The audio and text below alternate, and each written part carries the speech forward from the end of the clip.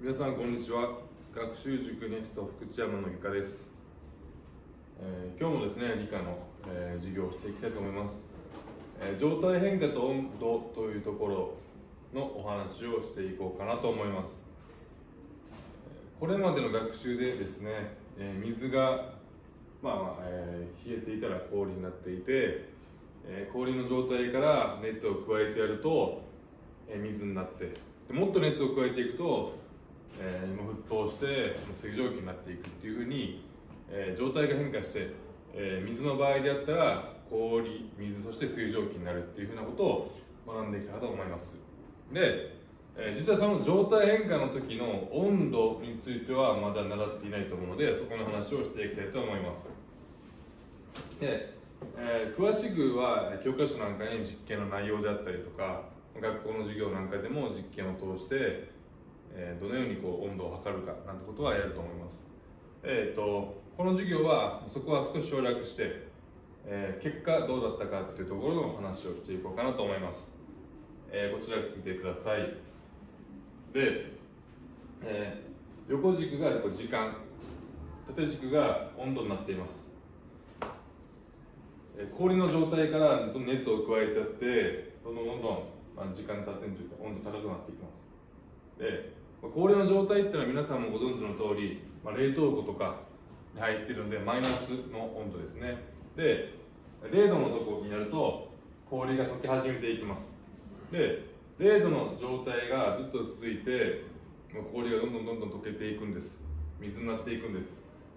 で、えー溶け終わるところまでこの間はずっと温度は0度0度です。そこからまた、ねえーずっと熱は加えてますが温度はここ一定です。で、えー溶け終わった後水になってからまた温度が上がっていきます。で100度のところになると水が沸騰し始めてまだそこから温度一定のまま沸騰が終わるまで完全に水がなくなるまで、えーまあ、100度が続くわけです。そこからは水蒸気になっていきます。えー水蒸気は目に見えないです。気体は基本的には目に見えません。沸騰していてこう湯気が出ています。目に見える状態あの湯気の状態はまだ液体です。そこから目に見えなくなるところまで行くと水蒸気になります、はい、でえっ、と、まあ、これ水の、えー一例ですね。で、えーまあ、どの物質もなんですが液体が沸騰して気体に変化す変化する時の温度っていうのがあります。水の場合だったら100度ですね。でこういう温度のことを沸点と言います。でこれは物質によって決まっていて例えばエタノールだったら78度で沸騰します。沸点78度が沸点です。だからエタノールをこう、えーまあ熱を加えてやると78度で沸騰し始めます。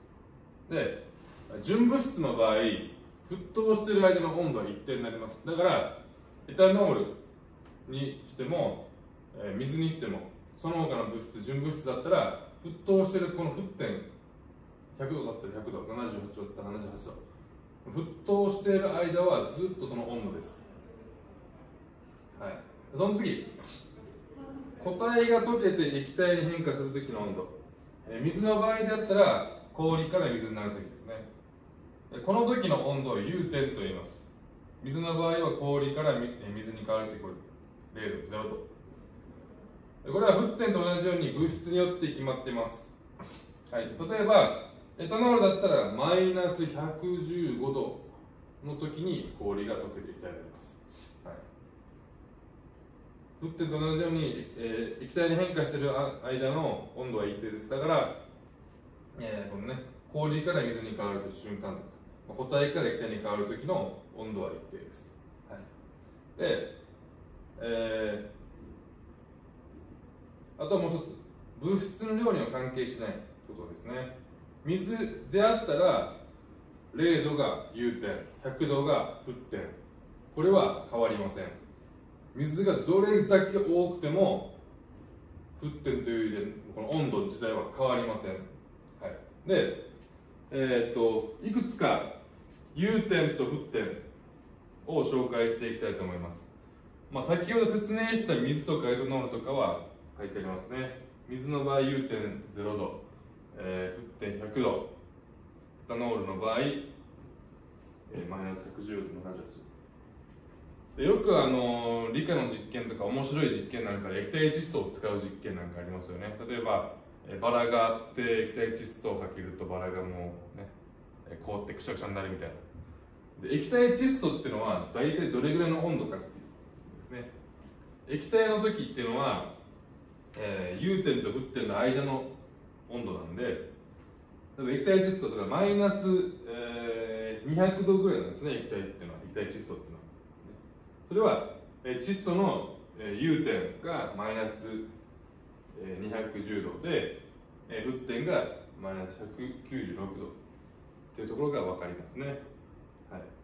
でえっ、ー、と沸点がマイナス7度とかの時は基本的にはえー、気体なんですね。一般の生活しているところでは基本的には気体になってます。逆に、えー、塩化ナトリウムとかこれらは、えー、液体になる融点がもう801度とか1000度超えていきます。